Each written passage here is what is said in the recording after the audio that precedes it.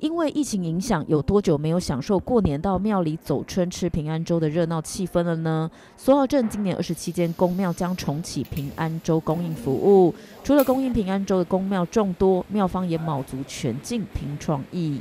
呃，兔年的过年吼，咱就就会当休十天吼，啊，所以特别是即马 疫情已经啊愈来啊趋缓了吼，啊，我想即马足侪咱伫所的公庙吼。拢开始要恢复吼，会当内用这个平安粥吼。那今年伫所全部有二十七间啊，这个宫庙吼，拢有提供这个平安粥吼。那我想吼，伫过年的时阵吼，啊，要来所家走村拜拜吼，啊，求得一个一整年的这个好运气吼。其实啊，是非常合适来到苏澳各个宫庙啊来做拜拜吼。像是苏澳隆德，因为盛产白萝卜，隆德庙就以白萝卜作为汤底，搭配香菇、干虾仁、芹菜、红萝卜、肉丝等好料烹煮，口味清甜。而像苏澳五老坑玉皇宫，则是维持二十年传统做法，还加入手做捏制的肉羹块，也是相当具有特色的肉羹平安粥。二十七间的宫庙，我想啊，大家都各显神通哈。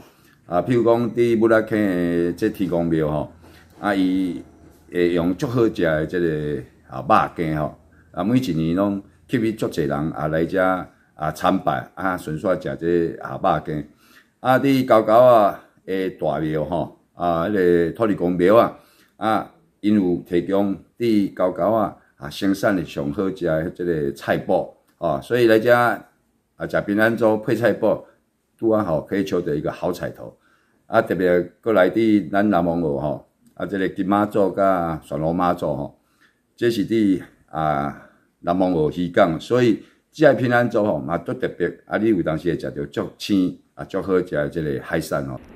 妙方诚心端出好手艺，煮出的平安粥各有特色，让各方信众假平安，福气满满。宜兰新闻记者黄竹汉采访报道。